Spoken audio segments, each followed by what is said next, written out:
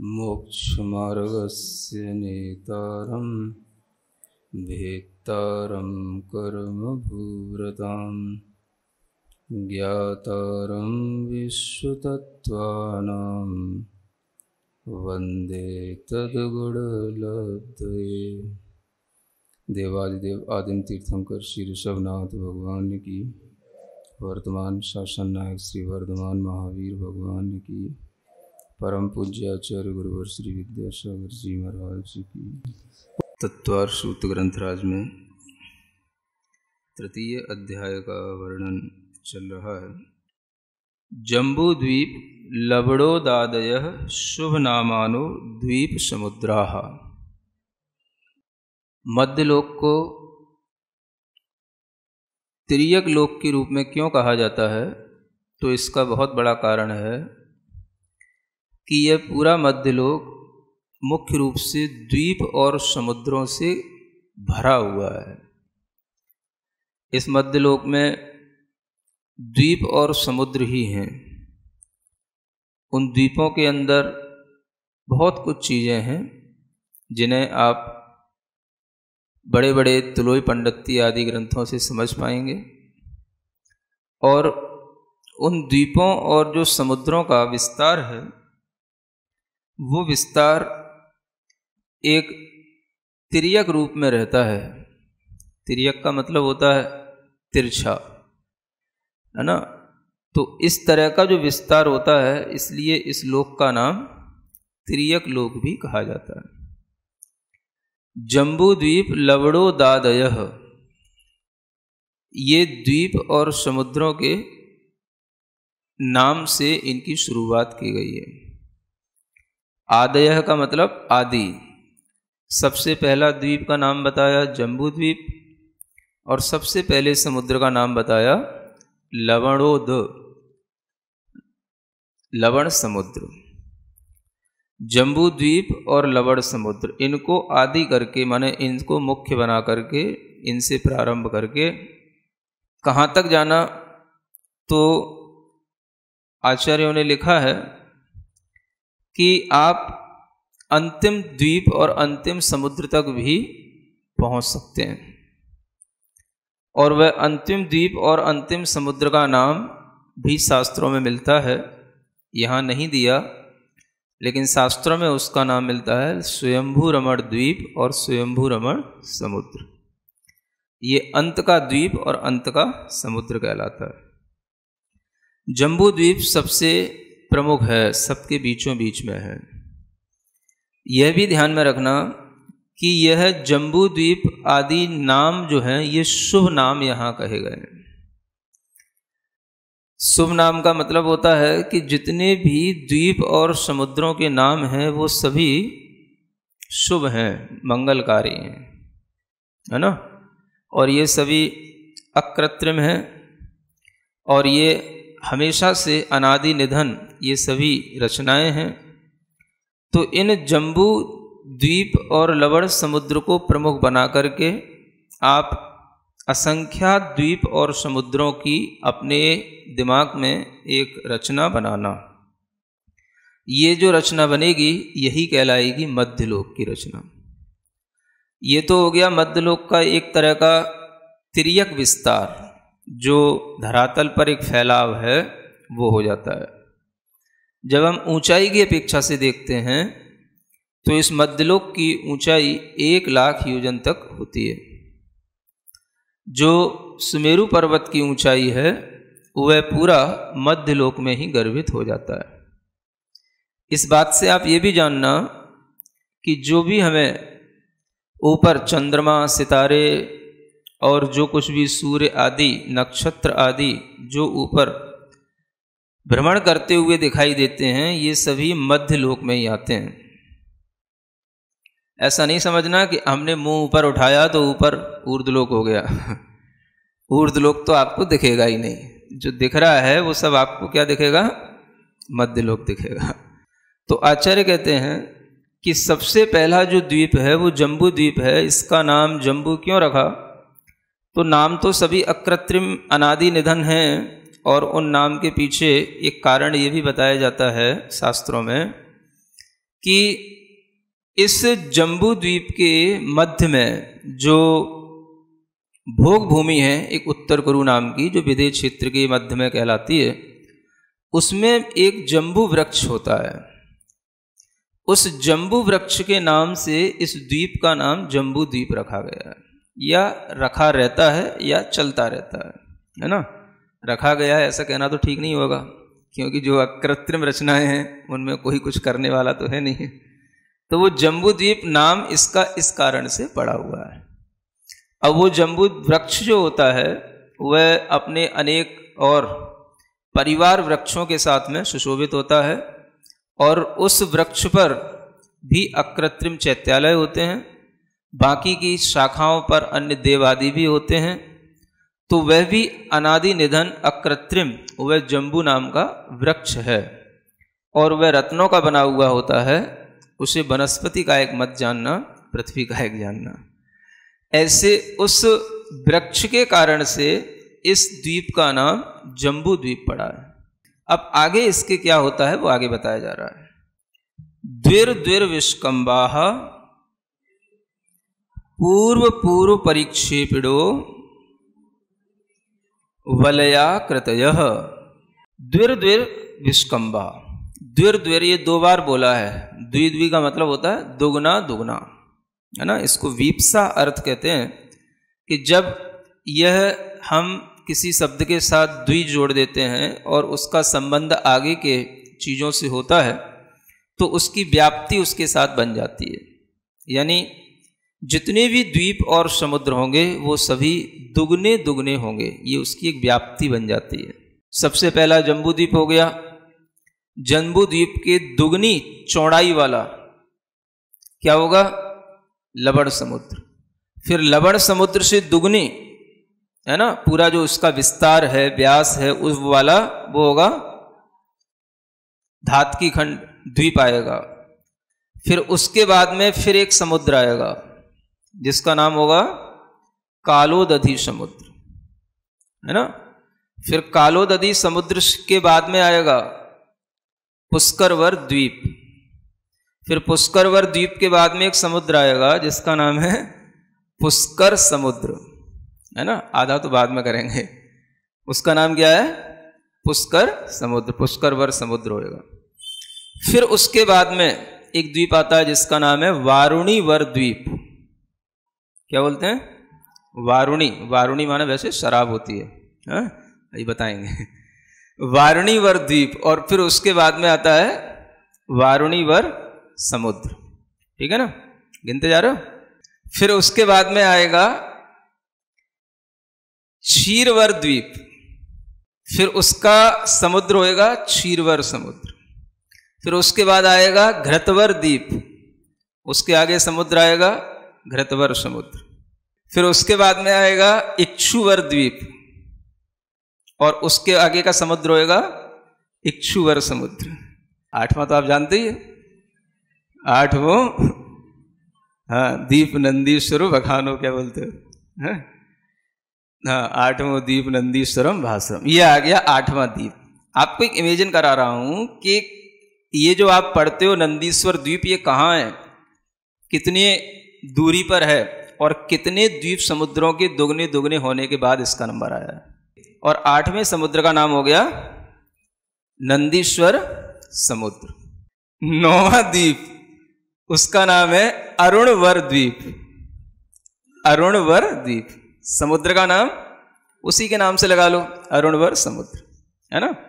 फिर दसवां, अरुणाभास द्वीप। और अरुणाभासवर समुद्र। ये हो गया। फिर जो ग्यारहवा आता है इसका नाम पहले आता है कुंडलवर द्वीप और कुंडलवर समुद्र। ये जानते रहे ना इसको बताने का भी एक प्रयोजन है पहले सुन लो है ना? ये कुंडलवर द्वीप तक पहुँच गए ग्यारहवें द्वीप।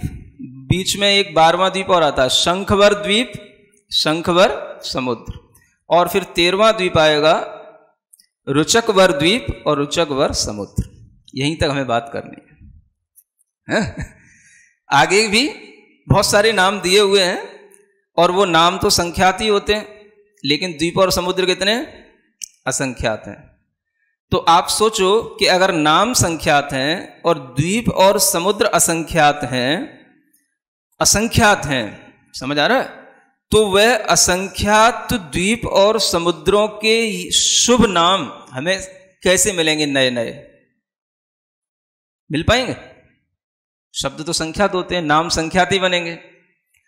तो ये मान के चलना कि यही शुभ नाम रिपीट होंगे। है ना? कई लाखों के बाद में फिर यही नाम फिर रिपीट होंगे। जम्बू, द्वीप लवड़ समुद्र इक्षुवर अरुणावर, ये सब नाम फिर से रिपीट भी होंगे। और ये नाम भी कई बार रिपीट होंगे। तब जाकर के असंख्यात द्वीप और समुद्रों की गिनती पूरी होगी। तो मतलब ये जानना कि जम्बू द्वीप एक नहीं है। कान खोल के सुनो तत्वार सूत्र पढ़ने लिखने वालों लोगों। जम्बू द्वीप एक नहीं है। लवड़ समुद्र नाम का समुद्र एक नहीं है। लेकिन जो यहाँ बताया जा रहा है जम्बू द्वीप, वो पहले नंबर का द्वीप है, उसका नाम यहाँ जम्बू द्वीप बताया जा रहा वह असंख्यात जानने में आता है, नापने में आता है, अवधि ज्ञानी और मन पर्य ज्ञानी उस असंख्यात के छोर को पा सकते हैं। केवल ज्ञानियों को तो प्रत्यक्ष दिखता ही है। और मतिक ज्ञान और श्रुत ज्ञानी भी अपने श्रुत ज्ञान से उस असंख्यात को गिनती के रूप में या गणित के रूप में जान लेते हैं। कैसे जान लेते हैं? कभी आप पल्य और सागरों का जो वर्णन किया जाता है या उसको नाप निकालने का जो तरीका बताया जाता है, उस तरीके को पढ़ना त्रिलोक सार आदि ग्रंथ में। समझ आ रहा है ना? जब उसमें कुंड बनाए जाते हैं, शलाका कुंड, महाशलाका, प्रतिशलाका, और उन कुंडों में जो रोम भरे जाते हैं, और उन रोमों को जब खाली किया जाता है तो उसके माध्यम से जो पल्य बनता है, और फिर उसके बाद में सागर की रूप में आती है उससे इन असंख्यात द्वीप और समुद्रों की भी नाप की जाती है। समझ में आ रहा है? तो असंख्यात ये संख्या, ऐसा नहीं है कि आप अपने दिमाग से उसे अनंत जैसी समझ लें। अनंत नहीं है ये, है तो असंख्यात ये एक संख्यात होता है जिसे हम न्यूमरेबल कहते हैं, है ना? जिसको हम काउंट कर सकते हैं। और एक होता है असंख्यात। इन्यूरेबल उससे हम हम नहीं काउंट कर सकते, लेकिन वो काउंट होती है। है ना? आपको श्रुत ज्ञान के माध्यम से समझा तो दिया जाएगा, लेकिन आप समझने के बावजूद भी उसको काउंट नहीं कर पाएँगे, क्योंकि जब हम आपको बताएँगे, इस कुंड को बराबर भी, इसको खाली करके, फिर इसके भी बराबर दूसरे कुंड को भर के, फिर तीसरे कुंड को भर के, ऐसे कुंड में कितने रोम आ गए, उन रोमों के बराबर। ये द्वीप और समुद्रों की संख्या का प्रमाण है। तो श्रुत ज्ञान से जानने में तो आएगा।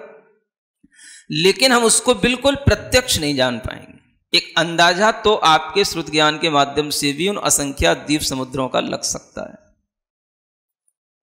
सुन रहे पल्य का नाम सुना? जब हम असंख्यात को नापने बैठते हैं तो हमारे सामने दो यूनिट आ जाते हैं। एक पल्य और इससे भी बढ़कर के होता है सागर। सागर इससे भी बड़ा यूनिट होता है। तो पल्ल में 25 कोड़ा कोड़ी। पल्ल में जितने रोम होते हैं, क्या बोला? एक पल्य नहीं पल्य माने वैसे होता है गड्ढा, जो हम सलाह का कुंड बनाते हैं ना, वो उससे पल्य नापा जाता है। अब उसमें 25 कोड़ा कोड़ी का गुणा करो। कोड़ा कोड़ी का मतलब होता है करोड़ में करोड़ का गुणा करना। तो 25 कोड़ा कोड़ी पल्लियों में जितने रोम समाएँगे, रोम भी कौन सा?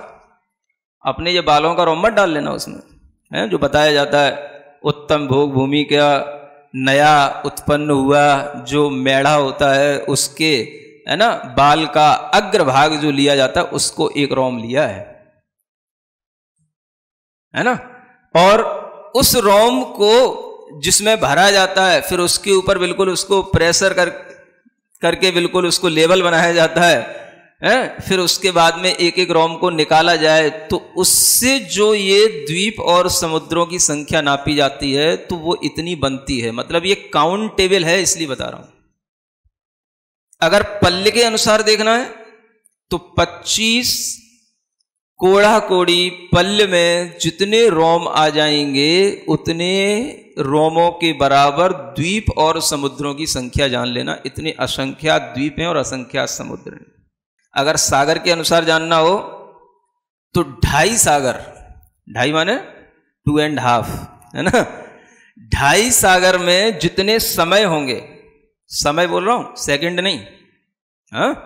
जो टाइम की सबसे फाइनेस्ट या शॉर्टेस्ट यूनिट होती है, उसको समय कहते हैं।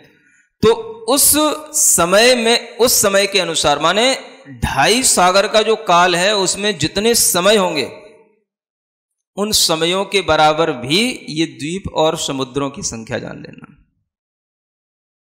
कोई सी भी एक चीज़ काउंट कर लेना। पल्ले है, वो भी असंख्यात में। है सागर है, वो भी असंख्यात में। है समझ ना? तो गणित है पूरा का पूरा। हर चीज़ व्यवस्थित है। कितने पल्ल में, कितने रोम हैं और उन रोमों के बराबर ही वह द्वीप और समुद्रों की संख्या है तो उतने ही के बराबर है वो।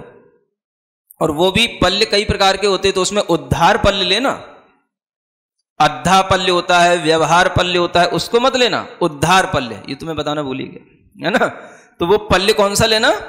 उद्धार पल्ले। तो इतना एग्जैक्ट हमको बिल्कुल नॉलेज दी जाती है आप उस असंख्यात की संख्या तक पहुँचने के लिए, उस गणित को समझने के लिए कोशिश तो करें।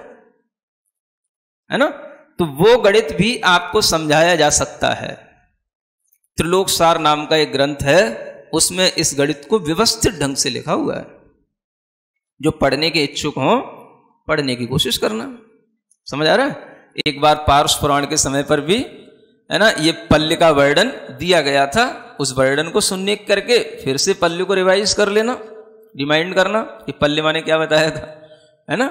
तो ऐसे इन पल्ले के माध्यम से जो ये संख्या द्वीप और समुद्रों की निकाली जा रही है, आप सोचें कि एक जम्बू द्वीप भी आज हमारे लिए पूरा ज्ञात नहीं है। अन्य द्वीप और समुद्रों की बात क्या करेगा साइंस? जम्बू द्वीप, जो एक द्वीप है है ना? एक लाख योजन इसका विस्तार है। इसकी जो चौड़ाई बोलते हैं, है ना? पूरा डायमीटर कह लो। कितना? एक लाख योजन। आप बता देना पृथ्वी की आपकी जो खोज रखी है आपने, उस, उसका विस्तार कितना है? है ना?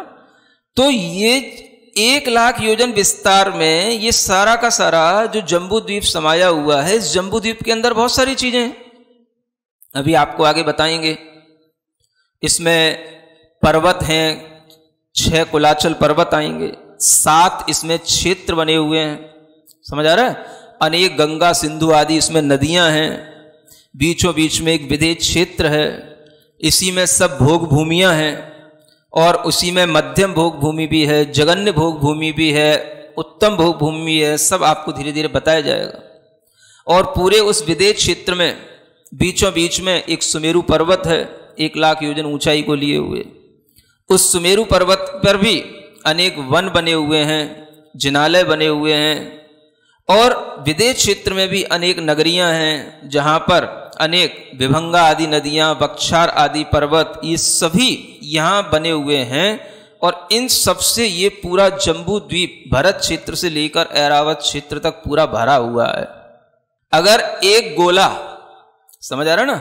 एक लाख किलोमीटर का एक एज्यूम करो तो उस गोले के जो सबसे, अब गोला है तो एक एक डायरेक्शन इधर जाएगी, एक डायरेक्शन उधर जाएगी तो ये कहलाएगी साउथ उधर की तरफ़ कहलाना नॉर्थ इधर हो गया ईस्ट इधर हो गया वेस्ट समझ आ रहा? तो इस साउथ डायरेक्शन में आप उस गोले के नीचे के जो पार्ट में एक वो बनाना, चाप. क्या बोलते हैं? कर्व समझ आ रहा है ना? तो वो ऐसा एक कर्व बनाना, चंद्राकार. उतना ही बस केवल भरत क्षेत्र है जिसमें हम रहते हैं। और उसमें भी छह पार्ट होते हैं। उसका एक पार्ट में हम केवल अभी बैठे हैं, अभी वो एक पार्ट की हम चर्चा करते हैं, वो पूरे भरत क्षेत्र की भी अभी पूरा विज्ञान खोज नहीं कर पाया है। पूरे जम्बू द्वीप की तो क्या करेगा? और असंख्यात द्वीप और समुद्रों के बारे में तो क्या जानेगा? समझ आ रहा है? तो हम छोटी बुद्धि के लोग, हमसे मतलब सभी, है ना?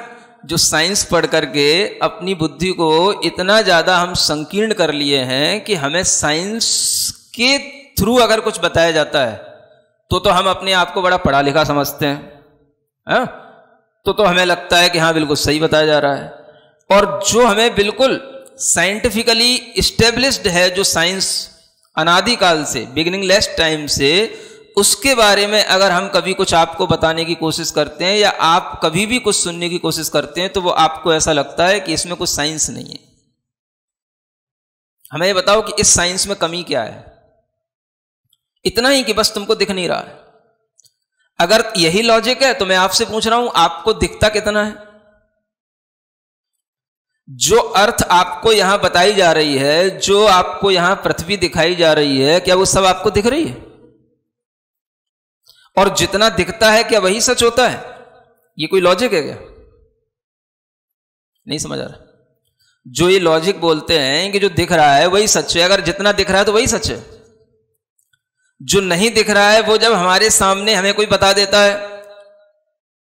ऐसे अनेक प्लानिट्स हैं, ऐसी अनेक गैलेक्सियाँ हैं।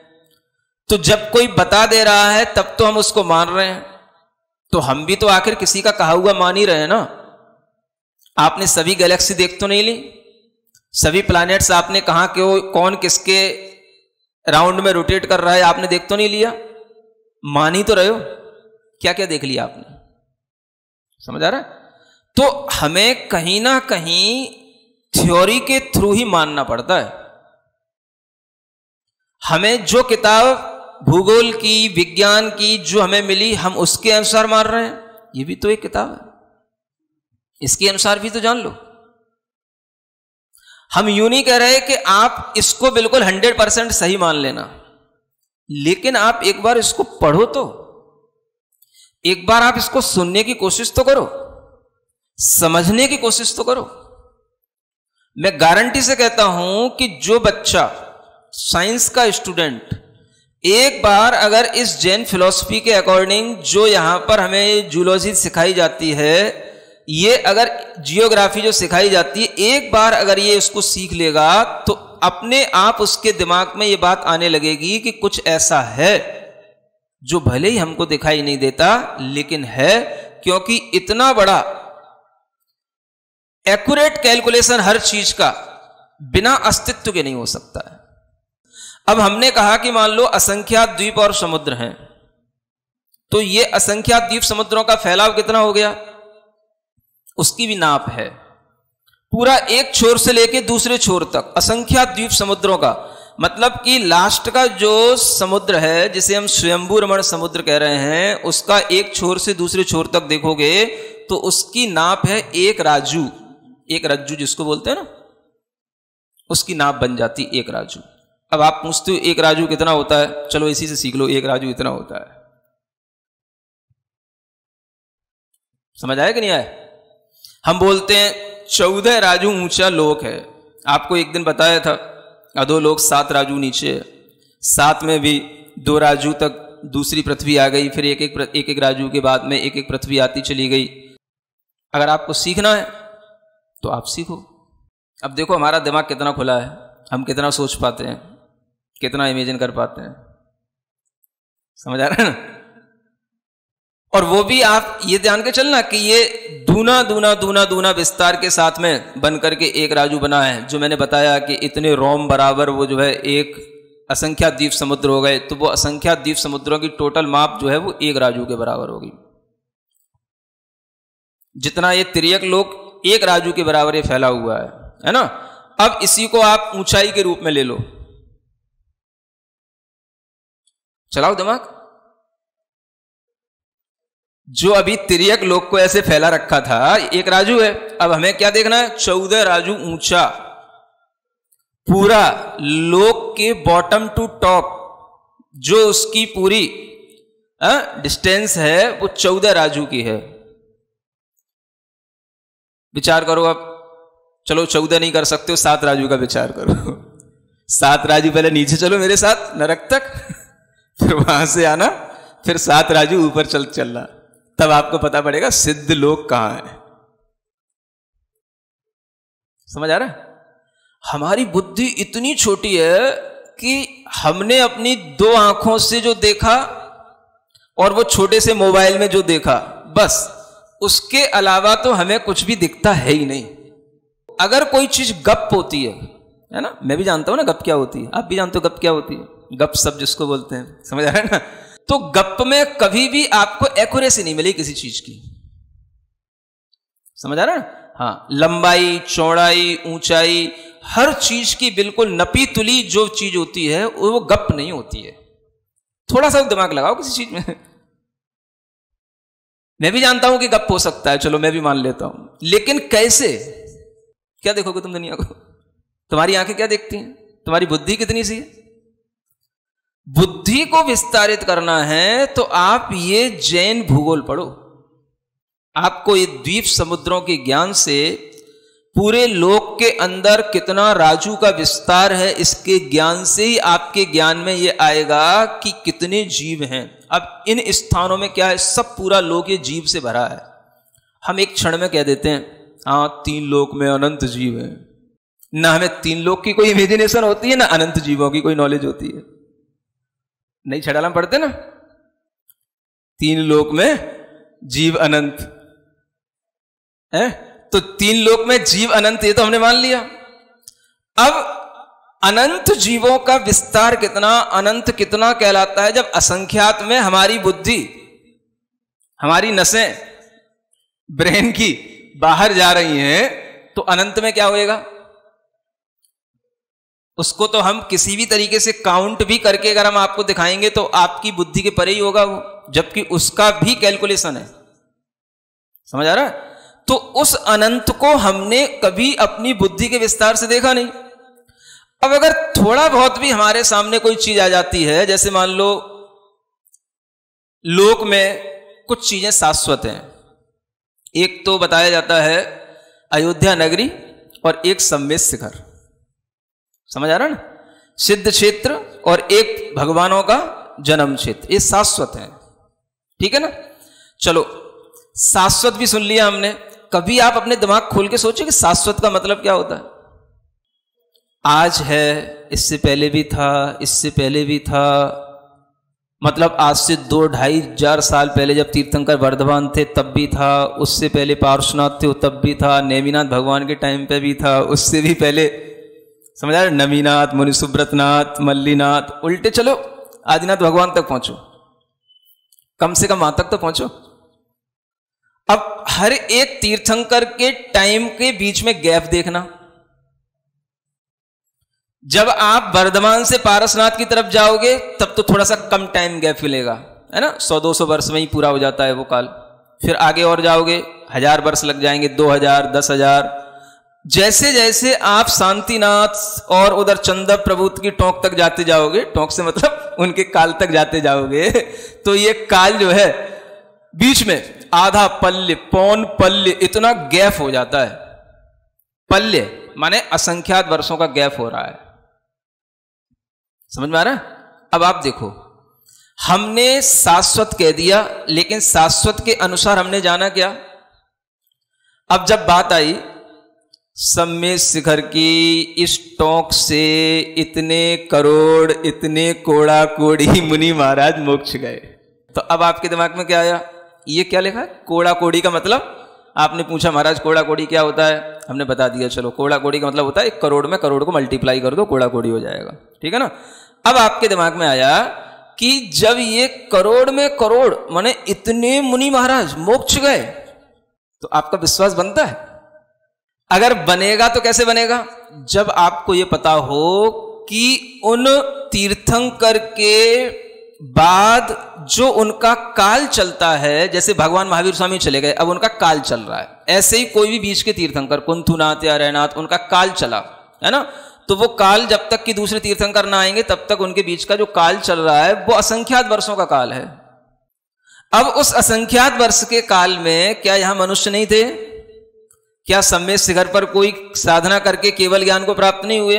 क्या सम्य शिखर से केवल ज्ञान प्राप्त करे कोई मोक्ष नहीं गए? होंगे? अब उसमें अगर करोड़ करोड़ करोड़ भी हमने गिन लिए तो कोई बहुत ज़्यादा संख्या हो गई क्या? कोई शंख हो गया, नील, महानील भी हो गया तो कोई बहुत ज़्यादा संख्या हो गई क्या? मनुष्य असंख्यात वर्षों का काल है, सभी साधना करते हैं और सभी मोक्ष को प्राप्त हो रहे हैं। तो आपके विश्वास में वो चीज़ आती है कि नहीं आती, ये आपको देखना है। अब अगर आपको संख्यात के आगे, असंख्यात तक का कोई भी अनुभव होगा, एक कुछ भान होगा, भीतर से कुछ आपको आभास सा होगा तो आपको लगेगा कि नहीं, ये कोई बड़ी बात नहीं है। जब असंख्यात वर्षों का काल है और इतने मनुष्य यहाँ उत्पन्न होते रहे हैं, तीर्थंकरों के काल में ऐसे जीव हुए हैं तो उनके जाने के बावजूद भी करोड़ करोड़ भी अगर मोक्ष हुए इस एक टोंक से या एक स्थान से तो कोई इसमें बड़ी बात नहीं है। अगर मैथमेटिक्स पढ़े हुए हो तो आपको ये सब चीज़ें सही ढंग से समझ में आएँगी, है ना? और नहीं पढ़े हो तो जैन मैथमेटिक्स पढ़ना सीखो, इसी पर पीएचडी करना सीखो। समझ आ रहा है? ताकि दूसरे भी लोग जो मैथमेटिक्स से पढ़ लेते हैं, वो भी केवल लॉगर्थम उतनी ना जाने कि यहाँ पर एक बस सर्प जैसी आकृति बना दी, नीचे की छोर पर ए लिख दिया, ऊपर बी लिख दिया, बस उसी को A plus B, A minus B करके ही सब फुर्सत हो गए। समझ आ रहा है?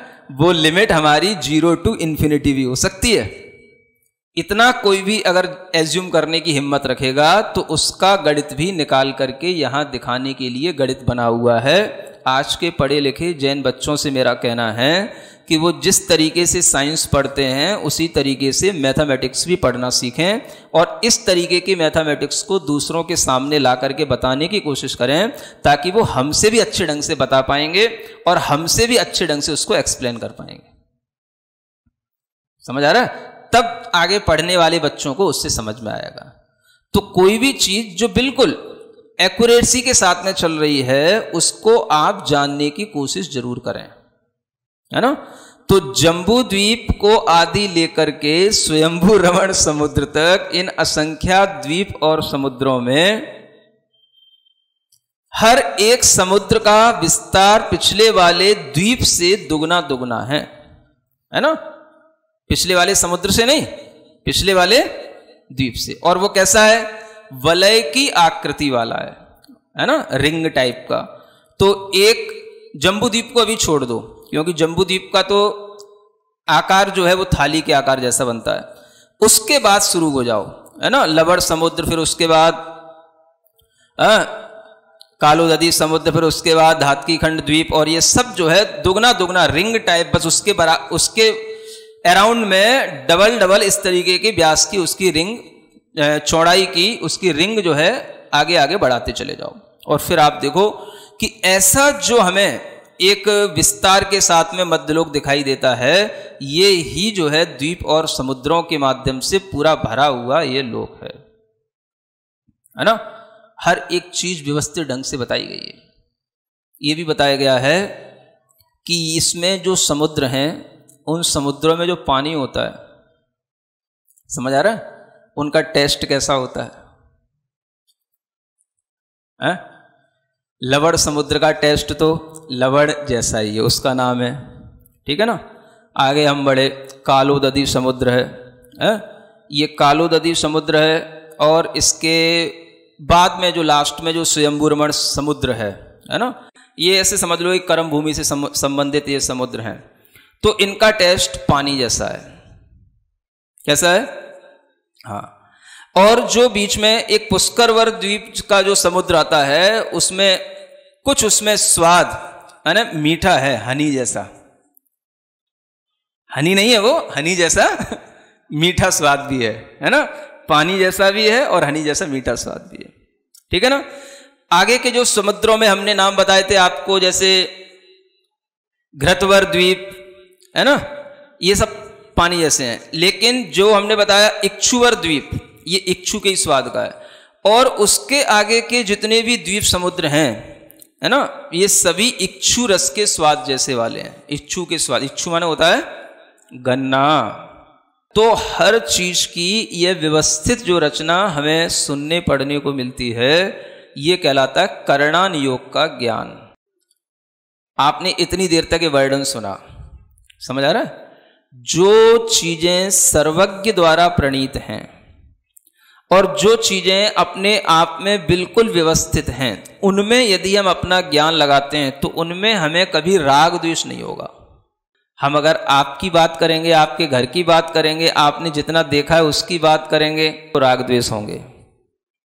तो सबसे बड़े प्रयोजन इस करणान योग को जानने का यह है कि उतनी देर तक हमारे परिणाम राग द्वेष से रहित होते हैं और जब हम अपने ज्ञान का विस्तार इतना कर लेते हैं तो हमारा राग द्वेष काफ़ी कुछ कम इस ज्ञान से हो जाता है। ये हमें प्रयोजन भी साधना है। सिरिजिणवाणी जग कल्याणी, जग जन मदतम मोहरी। जमहारि गढहरहारि जम्म जराभवरोगहरियराणं दिव्यझुणिं जो पडै सुणै मय्ये धारै णाणं सौखमणन्तं धर सदमुख पदं पावै। सासमो पदं पावै।